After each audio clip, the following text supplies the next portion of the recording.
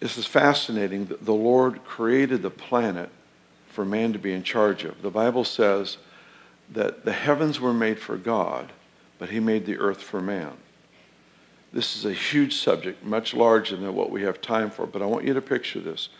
The Lord took this planet called planet Earth, and he created a little garden in that planet. It was, we don't know the size, but it was large enough for two completely yielded people to God to manage well.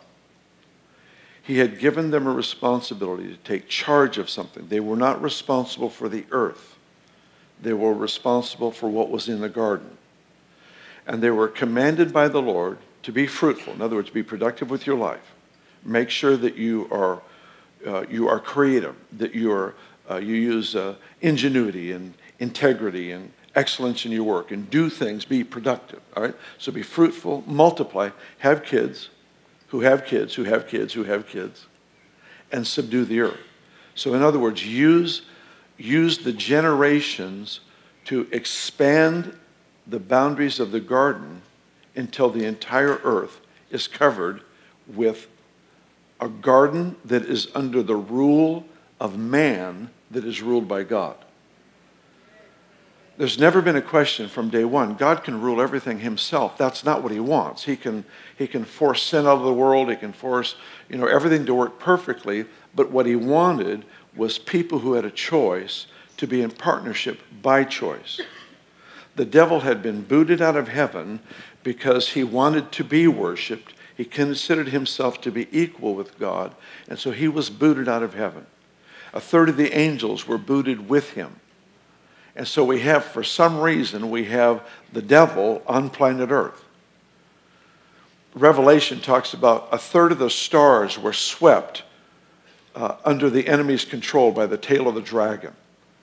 It's a really bizarre passage, but is it possible that a third of the planets were perhaps put under the enemy's of control, uh, the enemy's control when he's kicked out of heaven, and the devil himself landed on planet Earth? All we know for certain is that the devil was here. And the Lord picked this place where the devil landed to put you and me. Because defeating the devil has never been a challenge for God. With a breath, he can be destroyed forever. That's never been the issue. What he wanted was for humanity that was created in his image to bring defeat to the devil.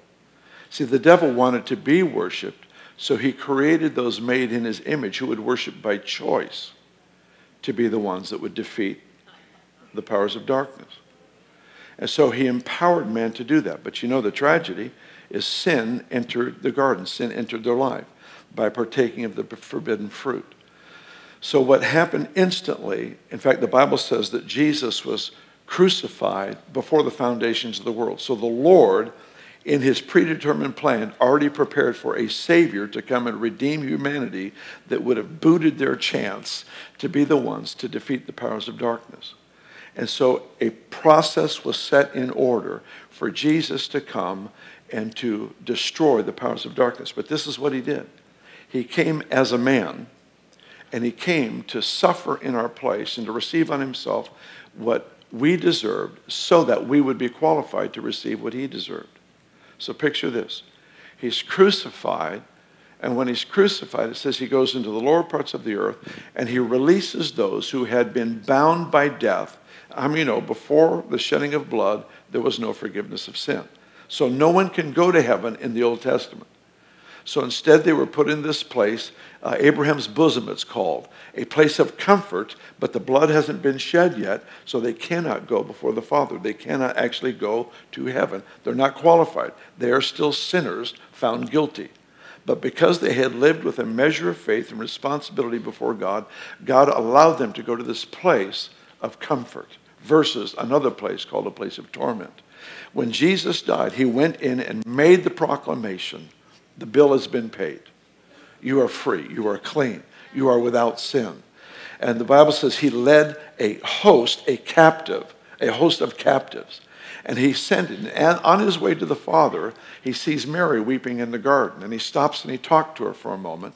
And this is in Matthew, I think it's 27, where you see there's a record of some of the saints walking around, you know, the, the old saints, checking out the sites in Jerusalem, You know, while Jesus, uh, Jesus is talking with Mary, these, the, the graves open and these, these Old Testament believers were actually seen visiting various places and people around Jerusalem. It's a weird story.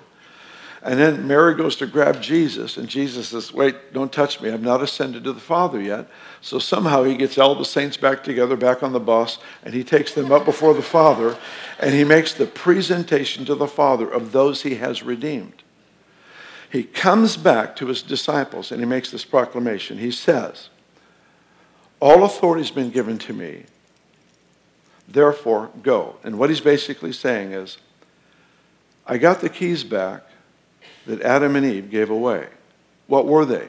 Keys of authority to govern a planet.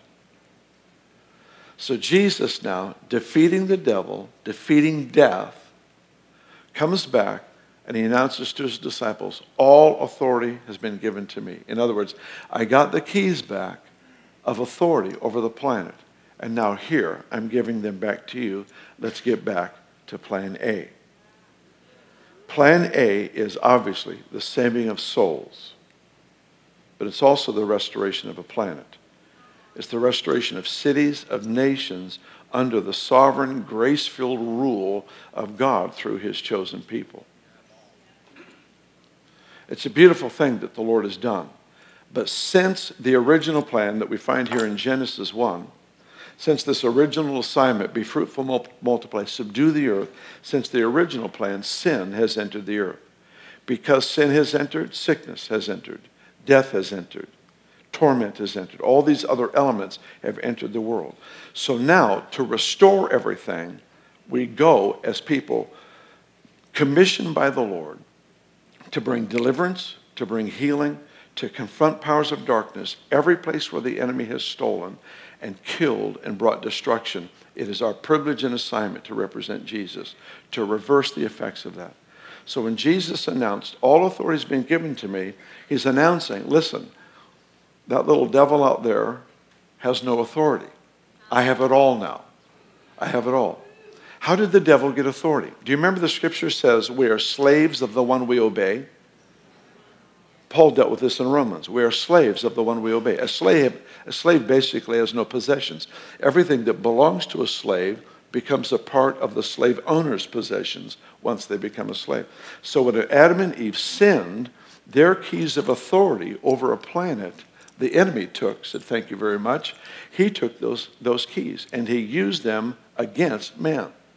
In Luke 4, look at this interesting passage in Luke 4, we have this dialogue between Jesus and, um, and the devil. Uh, this is during the temptation of Jesus, during his 40 day fast. And he makes this statement um, to the devil.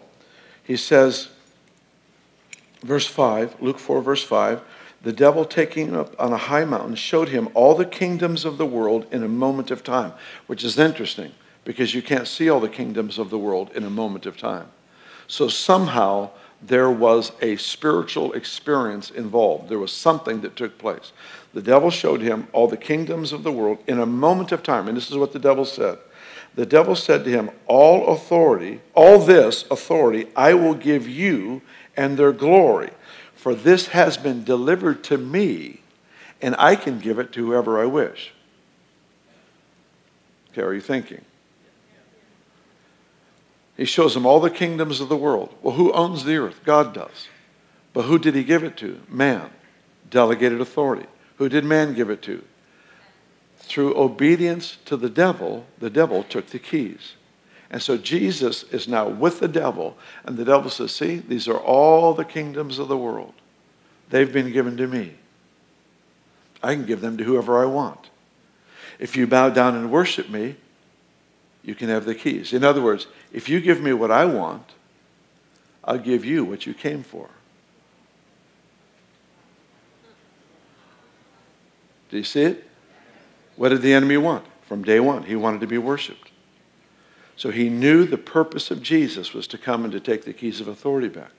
But Jesus refused to do it through military might. He refused to do it through compromise and a shortcut by appealing to the devil's own arrogance and personal desires. What he chose instead was to be crucified And after he was crucified, he rose again. When he resurrected, he rose with keys because he got the keys back.